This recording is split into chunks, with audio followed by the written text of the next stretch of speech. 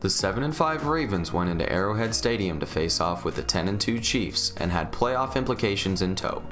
The Ravens led the league in fewest points allowed with 214 coming into this game, and their goal was to limit the high-flying Chiefs offense led by sophomore standout Patrick Mahomes. Hello everyone, my name is Maximus, and in this week's episode of Final 5, we take a deep dive into the battle between the league's highest scoring offense and stingiest defense. Let's get into it.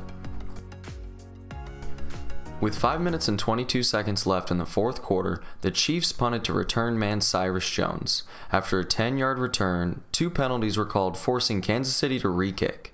With the second kick, Cyrus Jones bolted to the sidelines, turned it upfield, broke a few tackles, followed his blocks, and made his way to the 14 yard line.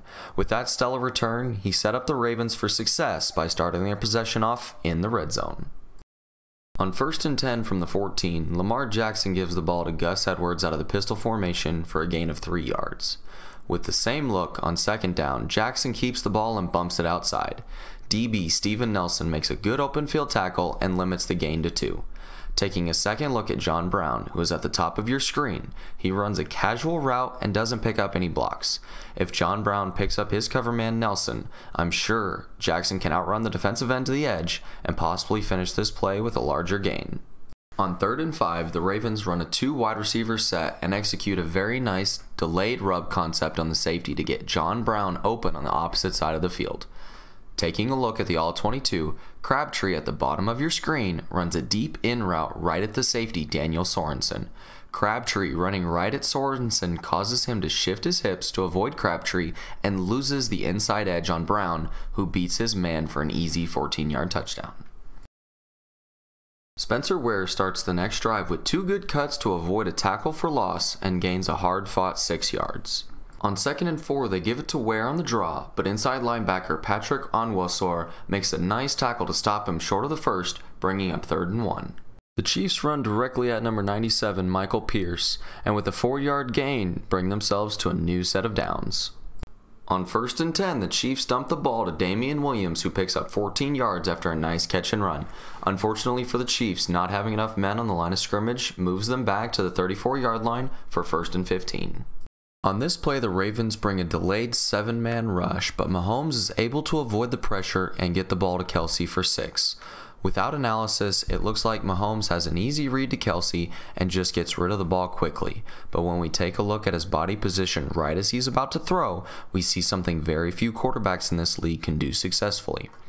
When Patrick Mahomes ultimately begins this throw, his hips are rotating to the sidelines as if he wants to take off and run.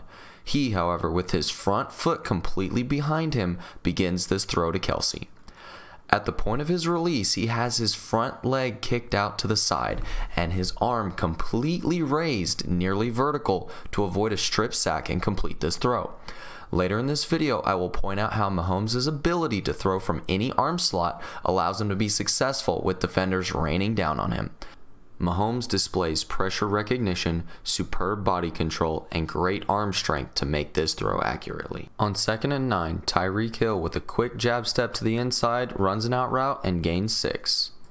On third and three, the Chiefs run a quick bubble route to Spencer Ware, who was met one yard behind the line of scrimmage by CJ Mosley, tackling him for a loss and bringing up fourth down.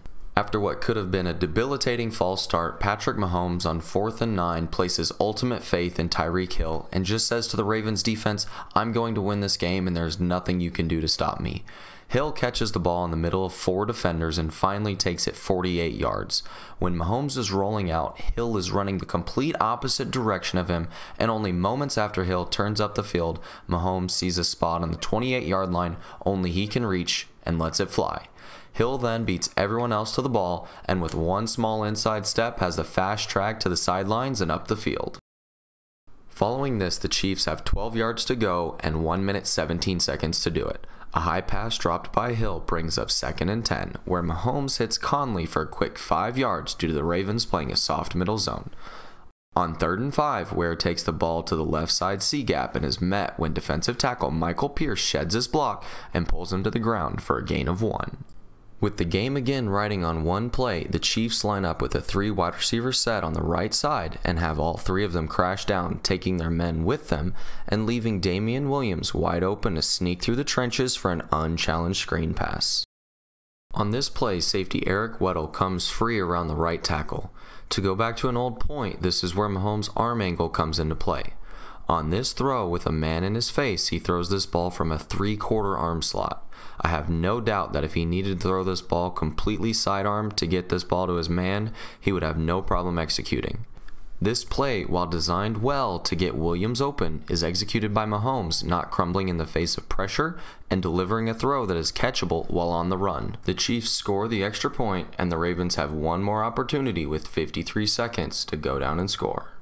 However, with 44 seconds, the Ravens' drive was cut short when linebacker Justin Houston stripped sack Jackson and recovered the fumble.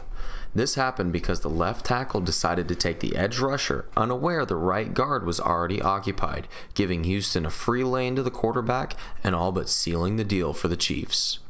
On first and second down, the Chiefs ran the ball up the middle and let the clock run down to three seconds. The Chiefs' Harrison Butker would then come onto the field to attempt the 43 yard field goal to win the game, only to miss 5 feet to the right and send us to overtime.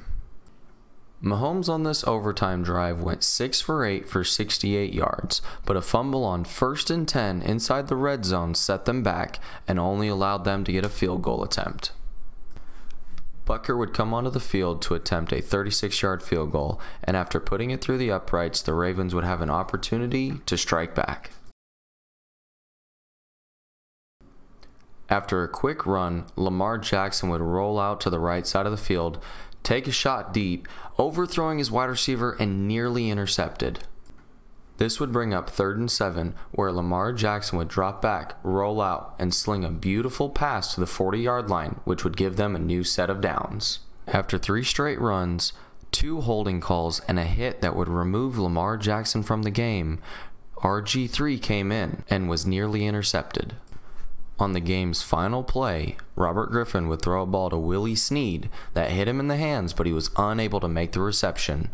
Griffin was looking for a pass interference call, but the Chiefs were celebrating.